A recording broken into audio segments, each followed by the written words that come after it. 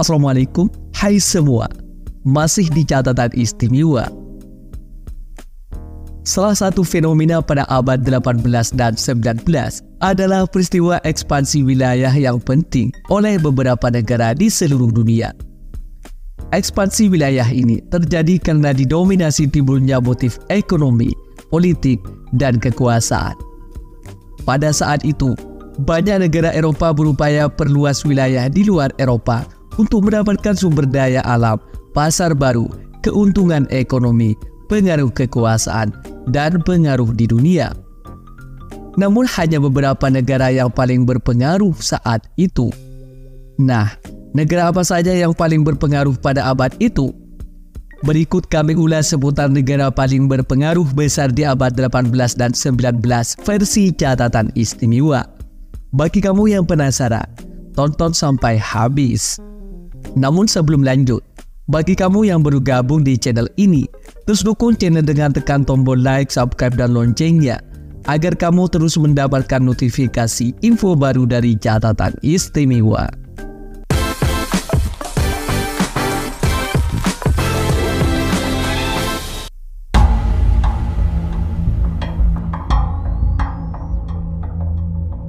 Yang pertama, Britania Raya.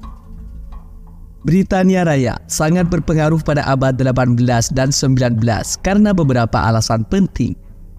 Setelah mengalahkan Perancis dalam Perang Revolusi dan Perang Napoleon 1792 sampai 1815, Britania Raya mulai muncul sebagai kekuatan angkatan laut dan ekonomi utama yang tak tertandingi di dunia pada abad ke-19. Bahkan London menjadi kota terbesar di dunia sejak tahun 1830. Britania Raya juga merupakan negara industri pertama di dunia dan menjadi penguasa dunia pada abad 19 dan awal abad 20. Hal ini sebagian besar disebabkan oleh revolusi industri yang bermula di negara ini yang melibatkan peningkatan besar dalam produksi dan efisiensi serta penemuan dan perkembangan teknologi baru. Negara ini memiliki ekonomi terbesar ke-6 di dunia menurut PDB nominal dan terbesar ke-8 di dunia menurut keseimbangan kemampuan berbelanja. Britania Raya juga memiliki kekaisaran Britania yang pada puncaknya merupakan imperium terbesar dalam sejarah dan mencakup seperempat dari total luas daratan dunia.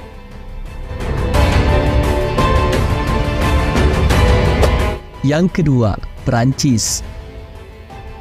Perancis memiliki salah satu imperium kolonial terbesar saat itu yang membentang sepanjang Afrika Barat dan Asia Tenggara.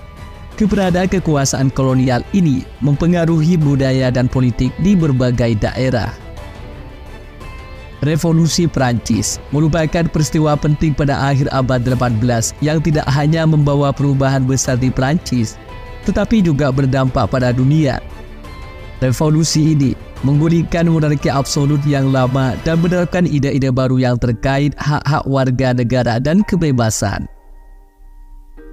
Kekuatan politik Perancis mencapai puncaknya di bawah pemerintahan Louis XIV yang membangun Istana Versailles sebagai simbol kekuasaan dan kemewahan monarki Perancis.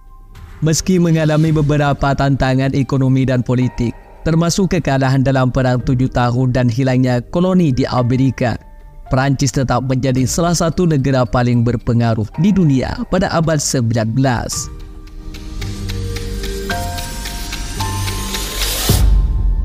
Yang ketiga, Amerika Serikat. Pada abad 18, Amerika Serikat meraih kemerdekaannya dari jajahan Britania Raya pada tahun 1776. Kemudian, Amerika Serikat berkembang menjadi sebuah negara yang kuat dan mandiri di Amerika Utara.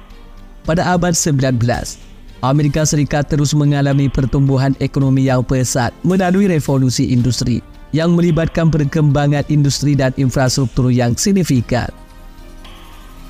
Selama abad 19, Amerika Serikat juga memperluas wilayahnya melalui pembelian Louisiana pada tahun 1803 dan melalui perang serta perjanjian dengan Meksiko yang menghasilkan perolehan wilayah seperti California, Texas, dan wilayah barat Amerika Serikat saat ini.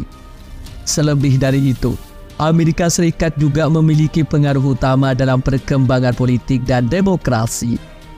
Prinsip-prinsip demokrasi yang dianut oleh Amerika Serikat seperti pemilihan umum dan kebebasan berpendapat menjadi contoh dan inspirasi bagi gerakan demokrasi di seluruh dunia. Dengan pertumbuhan ekonomi yang kuat, pengaruh politik yang besar dan peran sebagai pemimpin dalam perkembangan demokrasi Amerika Serikat menjadi salah satu negara paling berpengaruh pada abad 18 dan 19.